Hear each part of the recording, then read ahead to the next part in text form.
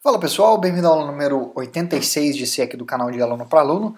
E nessa aula aqui nós, nós vamos aprender duas novas funções, que é a função fReopen e a função fGetS. E a gente vai aprender o que, que é o termo stdin, vamos entender o que, que esse camarada aqui é. é. Última coisa antes da gente começar, recomendo dar uma olhada aqui na descrição do vídeo, tem um arquivo chamado, um arquivo PDF gratuito chamado Guia de Input e Output Funções Padrões da Linguagem C, onde tem em detalhe explicado 18 funções contidas na biblioteca Standard Input Output, é, funções que vão te auxiliar na leitura e manipulação de arquivos em Input Output na linguagem C. E depois tem também um arquivo chamado modos de abertura da função fopen. Se você se lembra, na aula 81, a gente introduziu a função fopen, que nos permitia fazer a manipulação de, de arquivos. E aqui no segundo termo da função, a gente passava ou a letra R ou a letra W ou a letra A, para informar o modo de abertura. Só que existem mais do que, esses, do que o R, W e A. Então nesse arquivo você pode encontrar uma explicação e quais são todas as modalidades de abertura da função fopen. Beleza, rolamos demais já, vamos começar aqui então. Como a gente vai aprender a função fgetS, já vamos chamar a maledeta aqui então. Então está aqui a nossa função fgetS, e essa função recebe três parâmetros. A primeira coisa que a gente tem que passar para essa função é um vetor de caracteres ou um ponteiro a caractere. E quem que eu vou passar aqui? O meu ponteiro, o, meu ponteiro, o meu vetor x. O que que esse camarada tem a função aqui? Ele é onde os dados da string que eu vou estar lendo vai ser armazenada. O que essa função lê vai ser armazenado no meu vetor de caracteres x. Então esse é o primeiro membro. O segundo membro é um valor inteiro. E o que eu tenho que informar? O que que esse, qual que é a função desse valor inteiro? Esse valor ele vai delimitar quantos caracteres que a minha função pode ler. Então, no caso, eu vou fazer o seguinte, eu vou colocar aqui o número 100, eu já vou explicar por quê. Para isso aqui já vai meio que ser óbvio que se eu estou colocando 100, porque o meu vetor de caracteres tem 100, 100 então tamanho 100. Mas por enquanto vamos colocar assim, eu já vou explicar que ele tem uma pequena particularidade. E o último é um ponteiro file. Agora aqui vai entrar o nosso camarada stdin. Então atenção, aqui esse termo novo aqui é importante a gente saber pelo seguinte. Vamos entender que no tratando-se stdin nada mais é que a abreviação de inglês de Standard Input, Standard Input, que seria entrada padrão. Tratando-se aqui de um computador, um desktop, qual que seria a entrada padrão no nosso computador? na maioria dos computadores, a entrada padrão seria o nosso teclado. É o modo que nós temos de entrar com informação no nosso computador. Então, é isso aqui que stdin é a função dele. Informa que o, de onde eu vou estar lendo é stdin, que é o meu teclado. Então, se eu jogar stdin aqui, é a mesma coisa que eu estou dizendo que eu vou ler os dados do teclado. Aí você pode perguntar, ah, peraí, stdin vai ser sempre o teclado?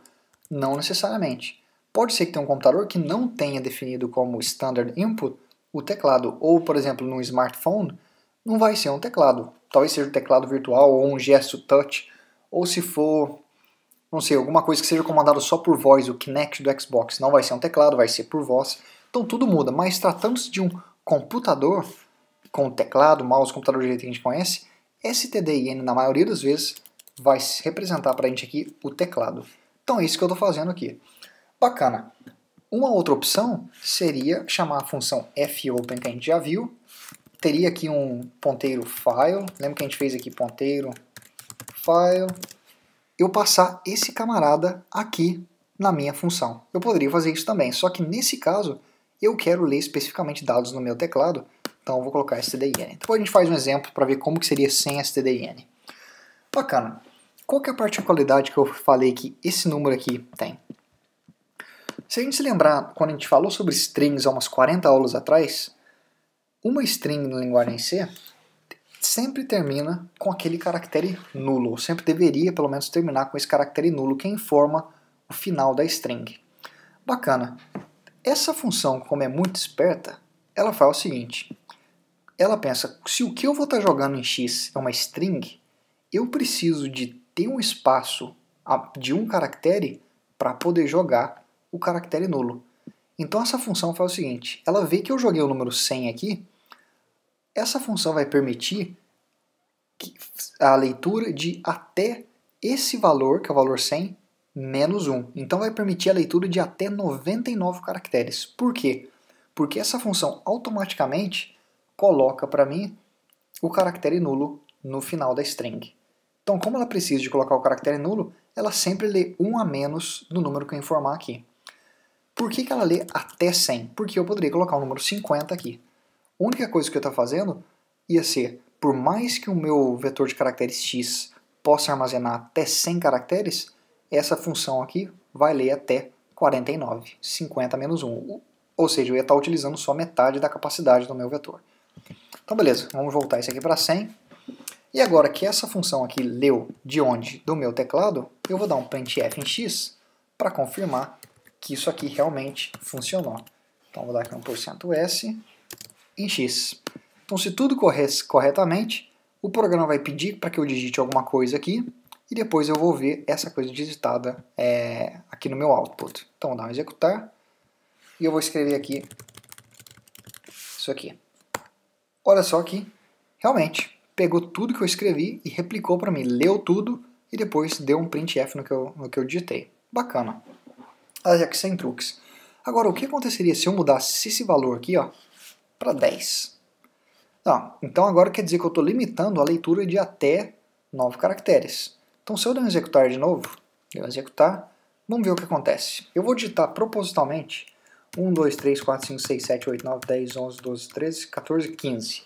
15 caracteres, só que a minha função aqui permite ler apenas 10, ou seja, 10 menos 1, 9. Então vou apertar Enter, vamos ver o que acontece. Quantos As que eu recebi de volta? 1, 2, 3, 4, 5, 6, 7, 8, 9. E o último, por mais que eu não veja, é o nosso caractere nulo que foi incluso automaticamente pela nossa função fgets. E perceba que isso aqui não depende, eu não preciso fazer esse número ser 10 para isso aqui ser 10. Eu posso simplesmente alterar esse camarada aqui. Bacana. Então agora que a gente viu isso, vamos dar uma olhada na função freopen. Então a função freopen. A função freopen é interessante pelo seguinte, ela nos permite redirecionar o camarada que a gente colocar aqui. Ó. Por exemplo, vamos, vamos fazer isso aqui na prática, que é mais fácil. Se isso aqui fosse a função fopen, a função fopen a gente já conhece, a gente viu na aula 81, a primeira coisa que eu informo na função fopen é o endereço de, de um arquivo, por exemplo, que eu quero tá, um arquivo de texto que eu quero estar tá, tá abrindo. Então, na minha área de trabalho, eu tenho um arquivo chamado arquivo1.txt que contém escrito nele a string pão com mortadela. Agora, eu quero fazer a minha função fopen, se fosse a função fopen, direcionar naquele arquivo. Então eu informaria o endereço daquele arquivo. Então estaria em users, big desktop, arquivo 1.txt. Então agora eu direcionei a minha função lá naquele camarada. A segunda coisa que eu tenho que informar para a minha função é uma outra string que informa o modo de abertura. Até agora a gente viu a modalidade R, a modalidade W, modalidade W e a modalidade A. R seria a modalidade de leitura. Novamente, se você quiser saber todas as modalidades, faz o download aqui do arquivo modo de abertura função fopen, onde tem a lista de, completa de todas as modalidades. E agora, qual que é o último termo da minha função freopen? Se fosse a função fopen, ia parar por aqui. Só que a função freopen o último camarada que eu informo é um ponteiro tipo file que eu quero redirecionar onde ele está apontando para esse novo local aqui. Ó. Então olha só o que eu posso fazer. Esse stdin ele é um ponteiro tipo file, que ele faz o que? Ele informa ao computador que eu estou lendo dados do entrada padrão, standard input, que é o meu teclado. Se eu jogar ele aqui, olha o que vai acontecer eu, a função freopen vai estar tá redirecionando o stream de onde ele lê, que é o meu teclado, para esse aqui. Ó. É isso que essa função faz. Ela redireciona o membro que você informar aqui, o ponteiro file que você informar aqui, para a string, para o endereço que você informar nessa parte aqui. É isso que ela faz. De tal modo, então, se agora eu der aqui de novo a mesma função fgetS e a função fprintf. A função printf, desculpa. Se eu fizer a mesma coisa, então vamos pensar aqui, nessa função, nessa chamada, stdin representa o meu teclado. Então o programa vai pedir para que eu digite alguma coisa. Só que nessa linha aqui, ó, quando eu dou o f reopen, o programa redireciona onde stdin está apontando, standard input está apontando. E onde que ele está apontando? No arquivo que já existe. Então o programa, nessa chamada aqui, ó, stdin, standard input, não vai pedir para eu digitar alguma coisa no teclado. Ele vai automaticamente, pum, vir aqui no arquivo 1.txt e ler o que tiver lá. Então vamos testar? Dei um executar. Eu vou digitar alguma coisa aqui. Olha só, eu digitei alguma coisa nessa linha aqui, representa essa linha. Ele realmente imprimiu para mim de volta aqui. Aqui eu redirecionei, redirecionei o meu stdin, e aí quando eu chamei a função fgetS, ele já foi direto lá no meu arquivo, no meu desktop, no meu, na minha área de trabalho, e leu o que estava lá, e depois deu um printf. Então realmente nós redirecionamos o string desse camarada. Então agora a gente vai para a parte 2 dessa aula aqui, onde a gente vai ver que isso, essa função freopen funciona também entre arquivos. Eu posso fazer um arquivo, por exemplo, um, um ponteiro file que aponta no arquivo 1, eu posso fazer ele apontar em um arquivo 2, direto do, do meu programa. Então te vejo na aula número 87, se não me engano, com a continuação desse tema. Até mais!